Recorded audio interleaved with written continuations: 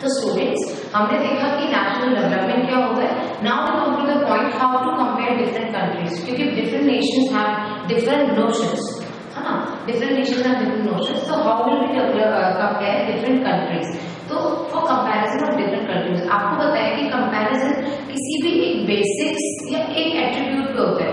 Suppose करो कि अगर हम क्लास के स्टूडेंट्स को कंपेयर करते हैं तो हम एक ही क्लास के स्टूडेंट्स को कंपेयर करेंगे अगर हम क्लास नाइन्थ के स्टूडेंट्स को compare with less than, so it is not a judgeable comparison. Why? Because they uh, they are divided into different classes. सब स्टूडेंट्स के भी उनका आई लेवल डिफरेंट होगा उनकी हाइट डिफरेंट होगी उनका एज डिफरेंट होगा बाकी सारी चीज़ें डिफरेंट होगी तो therefore when comparison when you talk of comparison so comparison is the always the same attributes तो how do we compare different countries हम डिफरेंट कंट्रीज़ को कैसे कंपेयर करते हैं। मैं यहाँ पे दो कंट्रीज़ लिखी हूँ। One is USA second one is India India हमारे, हमारा देश है हम इंडिया ज़रूर लिखेंगे। यूएसए हमारी कंट्री है। तो यूएसए सॉरी तो यूएसए के बारे में आपने सुना होगा। It is known as a develop country हमने पढ़ा था अभी डेवलप डेवलपिंग और अनडेवलप क्या होती है और इंडिया के बारे में हमने सुना है। It is a developing country so what would be the possible criteria between these two?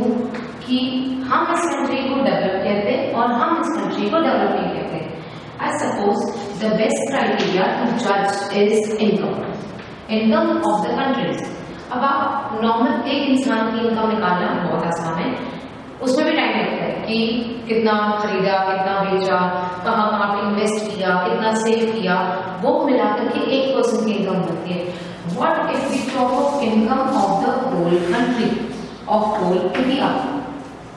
हमें सारे लोगों की इनकम और हम उस कंट्री को फिर जज करते हैं whether the country is develop और whether the country is developing और whether the country is under develop तो हमने देखा कि जब हम कंट्रीज़ का कंपैरिजन करते हैं तो we make comparison on the basis of income तो इनकम के बेसिस पे हम लोग इनकम के बेसिस पे लोगों को डिवाइड करते हैं दो पीपल में कि भाई अमीर लोग हैं गरीब लोग हैं। तो same as that we divide countries into two that is rich countries and poor countries अगर रिच कंट्रीज़ को हम उस कैटेगरी में रखते हैं जिनकी पर कैपिटा इनकम 12,736 डॉलर्स है और पुअर कंट्रीज़ को हम उस कैटेगरी में रखते हैं जिनकी पर कैपिटा इनकम 1045 डॉलर्स है। बात आती है, अब पर कैपिटा इनकम क्या होती है? ये हम एक्सप्लेन करेंगे, पर उससे पहले देख लेते हैं इंडिया कौन सी कैटेगरी में आता है? हमें सबको पता है India is a developing nation developing nation है तो इसीलिए इसकी जो पर कैपिटा इनकम है, वो current per capita income of 2018 मैं आपको बता रही हूँ। दिस इज़ 1670 डॉलर्स तो आप बताइए, अब आप सोचिए कि इंडिया रिच कंट्रीज़ में आता है पुअर कंट्रीज़ में।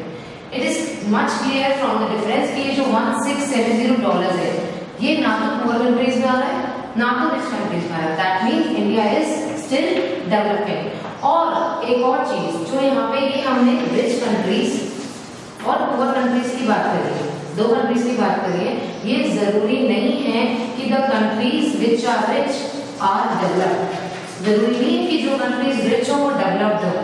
नहीं। और ज़रूरी नहीं है जो कंट्रीज़ पुअर हो वो अंडर डेवलप्ड हो।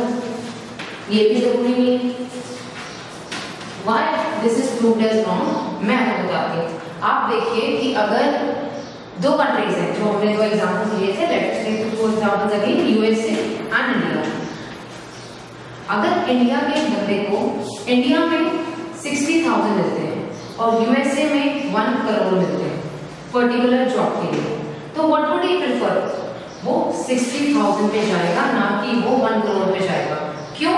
क्योंकि जबकि यहाँ उसको सबसे ज़्यादा इनकम मिल रही है। इंडिया में उसको कम इनकम मिल रही है। पर वो यहाँ से यहाँ क्यों नहीं जाएगा? क्योंकि उसे पता है उसे अपनी फैमिली को छोड़ना पड़ेगा।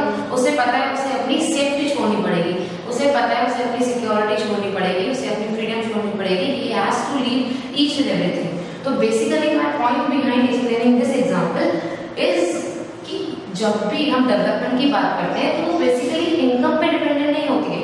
Development is always and dependent on income पर उसके साथ साथ अदर फैक्टर्स भी होते हैं।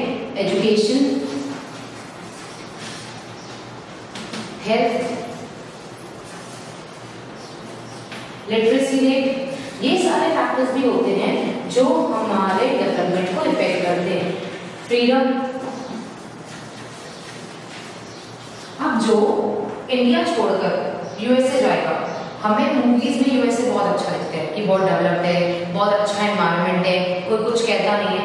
बट आपको पता है यूएसए में रेसिज्म सबसे ज़्यादा है, सबसे ज़्यादा कास्टिज्म है। और इंडिया में उतना नहीं है। इंडिया में हम लोग सर्वाइव करें तो we know each and everything about India तो वो पर्सन चूज़ करेगा कि जहाँ पे उसको भले कम इनकम हो रही है उसके डेवलपमेंट के चांसेस यहाँ पे कम है, पर फिर भी choose to reside in India rather in USA क्योंकि उसके लिए बाकी सारे गोल्स भी इक्वली इंपॉर्टेंट है।